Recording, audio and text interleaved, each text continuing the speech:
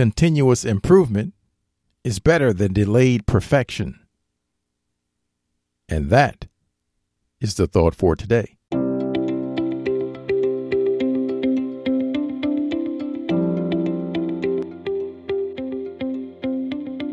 Welcome to 7 Good Minutes.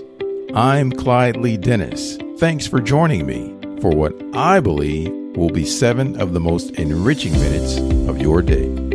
In today's audio, we get several great tips on how to stop procrastinating. Enjoy. Since I've started writing longer pieces of text, such as articles and essays, I've always come up against a roadblock concentration. I would always lose my focus on the subject by taking a break, which would consist of going on my phone or watching a YouTube video for a bit. This break would go from the planned 5 minutes to 10, then to 30, and so on, going down the rabbit hole of scrolling through social media or clicking on a chain of recommended videos on YouTube. I've read many articles and studies on why we procrastinate and how we can stop it. But I think that we all know how to, but are just too lazy to do it. What pushed me to actually implement the ways that many recommend stopping procrastination was my overwhelming inner guilt of wasting time where I could be productive, which has only recently just hit me.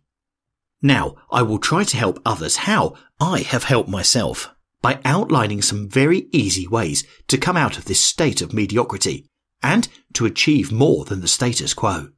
I found that my phone is my biggest time sink. Since getting an S10, I've been able to access a digital well-being tab in its settings, which shows how much time I spend on my phone and a breakdown by app on which app I spend the most time on. I was shocked to find that some days, at its peak, I spent upwards of 12 hours on a combination of apps. This is what initially triggered my guilt and pushed me to find ways to be more productive. To combat this, I've come up with a simple solution. Throw your phone away. Not literally. By this, I mean place your phone somewhere around one to two meters away from your workspace. This should be close enough so that you are not tempted to go on it, to browse for a few minutes, but also close enough so that in case you need to use it for something productive, you can reach it relatively easily.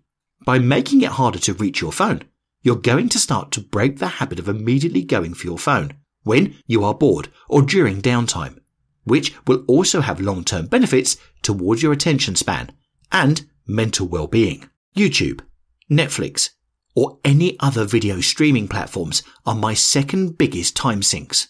Ending up on YouTube and going into the rabbit hole of videos has wasted an uncountable amount of time for me. Just by looking at the new time watch section that you can find if you click your profile on the mobile YouTube app, I can see that in the past week I have watched 27 hours and 9 minutes of YouTube. On average, it takes me around 2 to 3 hours to write a good quality text, which means that in this time I could have finished 9 to 12 medium sized texts, or 3 heavily researched texts.